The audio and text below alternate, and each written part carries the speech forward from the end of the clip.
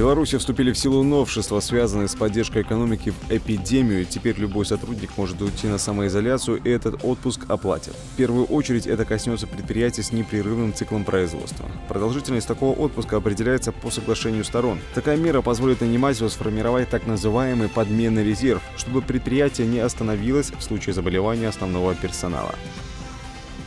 Минздрав дал рекомендации по безопасному катанию на санках и тюбингах. Чтобы избежать травмирования, для катания надо выбирать только такие места, где нет препятствий. Склон для катания небезопасен, если на пути есть деревья, столбы, речка, трамплины, кусты, заборы, турники, проезжая часть, бордюры. Горка должна быть ровной, укатанной, расчищенной. Белорусским банкам разрешили использовать смарт-контракты. Решение принял Нацбанк. До нововведения совершать такие сделки могли только компании, резиденты ПВТ и участники межбанковской системы идентификации. Применение смарт-контрактов в банковской сфере позволит расширить возможности дистанционного обслуживания клиентов, будет способствовать усилению конкуренции на финансовом рынке, также повысить операционную эффективность кредитных организаций, снизить их издержки, в том числе временные, отмечают эксперты.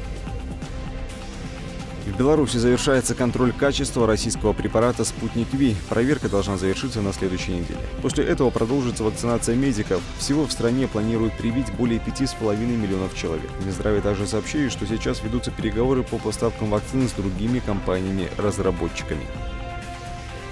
Молодежь Могилевской области присоединилась к челленджу «Уберем снег вместе». Эстафету приняли у активистов из Гродненского региона. Волонтеры БРСМ помогут расчистить территорию ветеранам Великой Отечественной, одиноко проживающим пожилым гражданам, инвалидам и другим людям, которые нуждаются в помощи.